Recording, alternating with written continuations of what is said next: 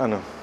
No aby sa, hlavná motivácia je ukázať, že konkrétne ako ja som získal 16 podpisov od poslancov, ja som išiel neštandardným spôsobom ako do volieb, aj keď je to štandardný spôsob, každý iný to označuje za neštandardný. A to znamená, e, kandidátom na prezidenta sa môže stať ten, čo si vyberá 15 tisíc podpisov od občanov, alebo 15 e, návrhov od poslancov. Hej, 15 tisíc podpisov od občanov, to znamená petičným spôsobom, alebo 15 e, podpisov od poslancov s návrhom na kandidatúru na prezidenta. Ja, sa trochu posuniem. Ste sa nepokúsili teda z tých 15 tisíc občanov ano.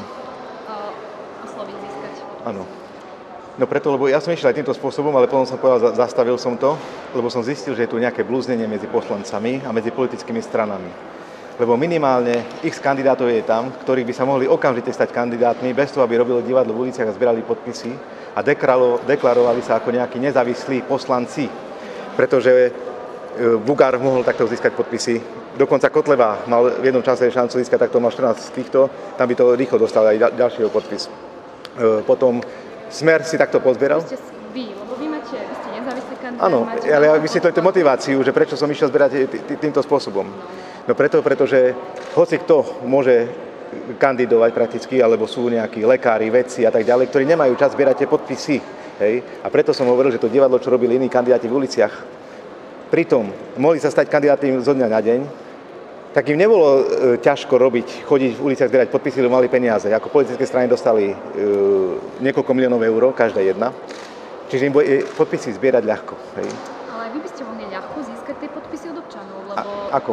No, by som... dobrovoľníci zbierajú podpisy, máte veľa tisíc, niekoľko tisíc odberovateľov, čiže ja si myslím, podľa tej vašej podpory, ano. že by ste mohli byť občiansky kandidát, ale akože to je len na okraji. Ano.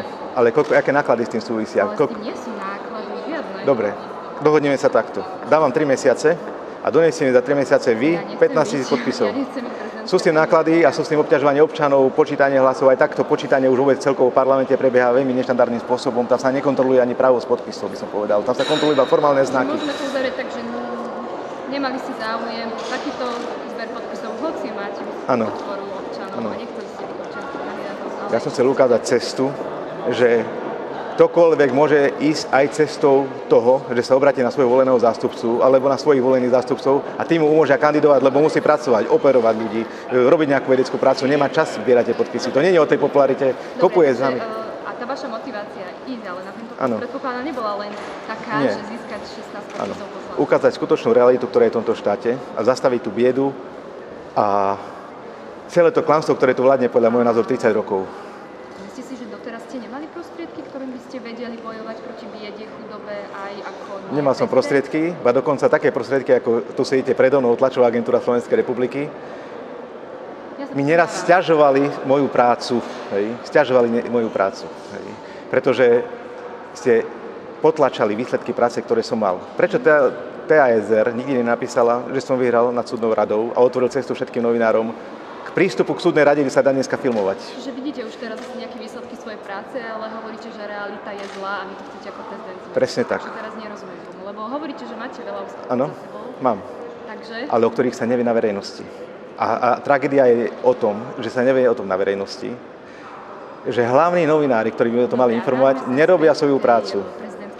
Dohodneme sa takto dneska, že keď budem dopovedať od myšlienky, som dopovedal celé, lebo vždy ma každý prerušuje, keď chcem dopovedať celú myšlienku. Ja viem, že moderujete si to vy, ale ja budem dopovedávať svoje myšlienky, ale kľudne hovorme. Dobre, takže hlavný dôvod vašej prezidentskej kandidatúry boj proti tej biede, chudobe. Proti korupcii, proti biede, Dobre. proti svojvoli úradníkov. Čiže, ale vzhľadom na to, aké má prezident kompetencie, uh, akými prostriedkami by si to chceli dosiahnuť, hm? ten boj proti... 11 rokov chodím, filmujem všetko, čo sa dá. Hej. Robím všetko, čo sa dá v rámci tých malých kompetencií, ktoré mám, ktoré ani nie sú kompetencie, ktoré sú iba práva, ktoré využívam na 100%. Hej. Aj to som nieraz tak slavom postavený, lebo nemám peniaze, by som zaplatil napríklad nejaký súdny poplatok alebo čokoľvek, ktoré by, kde by sme mohli postúpiť ďalej. Ako, hej. Čiže keď som mal len 1% kompetencií, čo dneska prezident, tu už je dávno poriadok urobený.